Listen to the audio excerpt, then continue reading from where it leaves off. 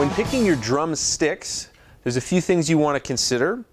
Drumsticks are designed to be different sizes and weights. And in a very general sense, the bigger and heavier the stick, the louder it's going to be with, a, with less energy.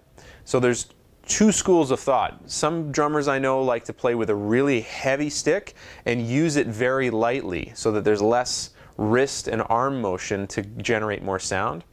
And other people like to play with very light sticks and hit a little harder because they like the feeling of it. So the system for most drum kits is going to be a number with a letter. And as the numbers get larger, the sticks actually get smaller. So a 3 is going to be a little bit bigger than a 5. And they usually are A's and B's. Every company does it slightly differently. But when you're in a store, you can pick up some drumsticks and kind of feel the weight of them.